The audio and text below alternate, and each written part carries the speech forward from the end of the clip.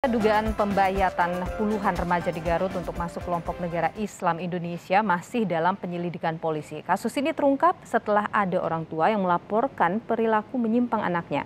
Apakah ancaman kelompok NII benar ada ataukah remaja-remaja ini terpapar paham menyimpang yang lain?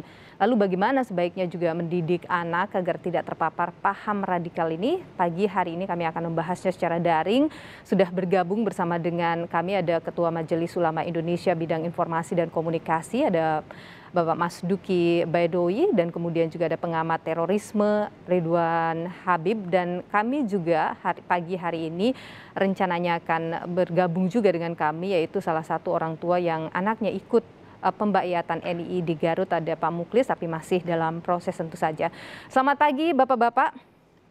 Selamat ya, pagi. Assalamualaikum. Sehat ya. selalu. Uh, saya ingin ke uh, Pak Mas Duki dulu ini. Pak Mas Duki ini terkait dengan informasi dugaan pembayatan oleh NII begitu. Apa informasi yang diterima oleh MUI dari MUI Garut, Pak? Ya, jadi MUI Garut uh, sudah berkoordinasi memang uh, terjadi uh, apa namanya apa laporan-laporan yang sebagaimana yang sudah diberitakan itu. Hmm. Dan memang ini uh, ada uh, eh, NII yang memang uh, kerjanya itu uh, memakai jubah agama ya hmm. untuk menipu uh, masyarakat kalangan muda jubah agama untuk uh, kepentingan uh, dia dalam gerakan ideologi uh, negara Islam Indonesia gitu ya. Dengan cara pandang cara pandang yang hitam putih gitu ya. Jadi NKRI Tauhud misalnya seperti itu. Kemudian apa ikut Al-Quran atau ikut Pancasila misalnya seperti itu. Apakah ikut eh, Nabi Muhammad Rasul atau ikut pemerintah Indonesia mulia mana dan seterusnya. Cara pandang hitam putih seperti itu. Begitu laporan-laporan yang kami terima dari Majelis Ulama daerah dan apresiasi kami ya dari Majelis Ulama uh, kepada uh, apa ya stakeholder di Garut bahwa ini sudah ditangani dengan baik ya. Uh-huh. Jadi uh, tidak hanya ditangani oleh pihak kepolisian tapi sudah melibatkan berbagai unsur. Jadi misalnya mulai dari KPAI juga orang tua sudah akan dibina dan seterusnya. Dan ini saya kira uh, satu hal yang sangat uh, baik uh, karena dengan cara seperti itu kita berharap ke depan gitu ya, memang uh, terutama kepada orang-orang tua uh, kalau uh, apa namanya anaknya ma hmm. mengikuti aktivitas agama hmm. itu harus dengan hati-hati karena agama itu ada agama yang memang orang memahami agama sebagai bagian dari sebagai ajaran ya, sebagai ya. ajaran yeah. yang memang semestinya. Tapi juga ada agama atas nama agama padahal dia sudah terbungkus ideologi. Dan itu tidak hanya NII. Yeah. Tidak hanya NII karena misalnya NII yang berujung kepada apa kepada khilafah banyak juga ajaran-ajaran yang lain yang juga yang uh, berujung kepada khilafah yang intinya dia ingin membongkar. Uh, negara kita, menghancurkan negara kita lewat uh, ideologi yang mereka tawarkan. Dan ini uh, atas nama agama semua, atas nama jubah agama. Oke. Okay. Dan yang, yang yang yang kasihan itu adalah masa depan anak-anak kita. Dia menjadi korban dan akhirnya uh, hartanya juga habis karena mereka juga uh, menipu orang tuanya dengan berbagai cara yeah. dan kemudian juga ya berikutnya dia masa depannya menjadi uh, Betul, masalah ada tersendiri yang... kasihan ada juga informasi yang dapatkan bahwa anak-anak ini merasa tidak perlu bersekolah karena uh, apa tidak penting begitu untuk sekolah. Betul, tidak penting sekolah karena mereka sudah sudah hijrah istilahnya. Betul. Jadi Pak iman saja mereka tidak cukup, harus hijrah hijrahnya itu ke negara baru yang namanya negara uh, apa negara Islam dari negara kafir. Iya. Nah, jadi Indonesia ini negara kafir karena hmm. kafir semuanya menjadi halal, okay. termasuk harta orang tuanya juga halal untuk ditipu. Tuh. Pak Jadi Mas ini gawat sekali. Informasi ya, yang gimana? didapatkan kan bahwa uh, penyebaran ajaran ini itu uh, didapatkan oleh anak-anak ini dalam pengajian-pengajian. Uh, bagaimana sebenarnya MUI mengawasi pengajian-pengajian, Pak?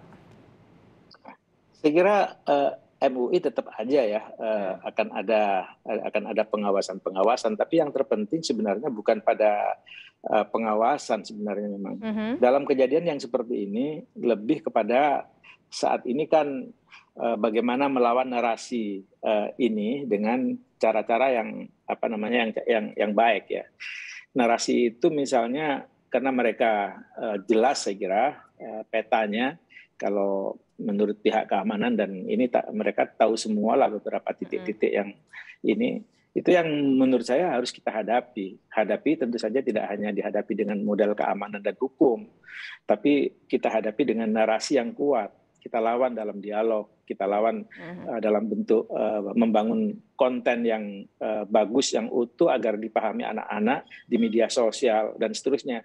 Ya. Nah, cara-cara pandang seperti itu saya kira uh, apa namanya uh, harus dilakukan ke depan, hmm. karena mereka juga sudah semuanya memakai alat-alat teknologi digital yang baik untuk mempengaruhi uh, mempengaruhi anak-anak. Jadi kita harus uh, apa namanya melakukan uh, apa namanya narasi perlawanan di situ, okay. bahwa kemudian kita mengawasi mereka saat ini pengawasan seterusnya, iya saya kira iya akan ada akan pihak keamanan. Mungkin, uh, apa uh, narasi-narasi ceramah yang disampaikan ulama itu akan diperketatkah mungkin nanti dari MUI? Justru narasi yang yang yang mesti kita bangun itu adalah uh, narasi dari kita hmm. untuk melawan mereka. Oke. Okay. Uh, bahwa uh, itu itu yang penting. Karena kalau nggak mungkin kita me, apa ya mencegah mereka membuat seperti itu. Pasti mereka akan membuat. Tentu saja akan akan ada alat kontrol ya dari pemerintah misalnya mm-hmm. Kemenkominfo misalnya. Itu akan akan akan ada alat kontrol itu. Tetapi mereka tidak akan berhenti di situ. Yeah. Mereka akan terus uh, memperjuangkan ide ini karena dengan ide inilah dia mendapatkan keuntungan ekonomi. Okay. Ya, ini kan NII yang sayapnya itu sayap MLM istilahnya. Okay. Mereka uh, mencari uh, apa nama uh, sedekah, mencari infak, mencari apa atas nama atas nama itu semuanya dikumpulkan jejaringnya sangat uh, sangat uh, besar di bawah itu uh, apa namanya ya model ML, MLM okay. uh, yang di pusat itu akan sangat kaya, akan mendoktrin terus menerus okay. dan justru di sinilah sebenarnya menurut saya pihak keamanan, pihak kepolisian jangan berhenti hanya di bawah okay. uh, melakukan melakukan apa ya Langkah. melakukan deteksi dan dan pengamanan tapi justru ke jejaring yang di atasnya itu saya kira sangat sangat penting. Oke, okay. langkah preventif dari uh, pemerintah dan aparat kepolisian. Saya ke Pak Ridwan dulu nih, Pak Ridwan dari apa yang terjadi di Garut apa yang anda baca? Yang pertama nih loh, kita belum punya aturan hukum ya, perangkat mm -hmm. hukum yang tegas untuk bisa menindak orang-orang yang melakukan rekrutmen NII. Mm-hmm. Ya, berbeda dengan misalnya Tapi JAD Anda, sebentar dulu Pak Ridwan, Anda ya, meyakini ya, ini adalah NII ya Pak Ridwan ya? Ya, datanya seperti itu. Oke, okay. mm-hmm. sila, silakan dilanjut. Ya, jadi kita belum punya argumentasi hukum, perangkat hukum yang bisa kemudian menjerat mereka secara pidana. Kalau JAD atau ISIS kita punya Undang-Undang 5 tahun 2018. Hmm. Kalau Hizbut Tahrir Indonesia kita punya peraturan presiden yang melarang mereka dan menganggap HTI sebagai organisasi terlarang. Okay. Tetapi NII ini nggak ada, nggak ada payung hukumnya sehingga hmm. kemudian merepotkan dari level aparat di level bawah, terutama pemerintah kabupaten kota. Mereka bingung nih, orang ini merekrut NII, tetapi hmm. mereka dipidana dengan apa? nggak bisa gitu loh belum masuk kecuali mereka melakukan tindak kriminal ya misalnya melakukan pencurian atau perampokan iya dengan KUHP tetapi kalau hanya mempengaruhi orang, kemudian bikin pengajian, memasukkan ideologi bahwa Pancasila itu bertentangan dengan Islam, bingung ini aparat di bawah ini. Mereka mau okay. ditindak dengan apa? Apalagi kedok mereka adalah pengajian. Sehingga kemudian aparat ini khawatir kalau itu dibubarkan, narasinya adalah aparat melawan Islam, aparat melawan penegak hukum. Jadi saya kira saya setuju dengan Kiai Mas Duki tadi bahwa operasi-operasi wacana atau counter opini itu harus ditingkatkan di level bawah. Hmm. Sehingga ketika ada penegak hukum atau aparat e, pemerintah melakukan penertiban terhadap pengajian-pengajian yang dalam hal ini justru merongrong Indonesia, itu MUI pasang badan. MUI akan mengatakan ini bukan pengajian yang benar, hmm. ini adalah pengajian yang salah karena justru menganjurkan melawan negara kesatuan Republik Indonesia. Hmm, Tapi ini loh, yang hmm. utama sebenarnya saya kira kasus Garut ini hanya adalah permukaan es saja. Saya meyakini Artinya masih banyak di bawah. Ya, di provinsi-provinsi lain saya yakin masih banyak, termasuk kemarin saya diskusi dengan Mas Ken Setiawan, mantan anggota NII. Dia hampir setiap hari itu ratusan orang yang curhat untuk di apa dibantu untuk keluar dari NII. Nah, ini kan berarti problemnya sudah sangat luar biasa. Saya kira sudah saatnya pemerintah segera mencari rumusan aturan hukum, apakah itu di level peraturan presiden atau rapat di Kementerian Polhukam, kita tentu mereka punya mekanismenya. Hmm.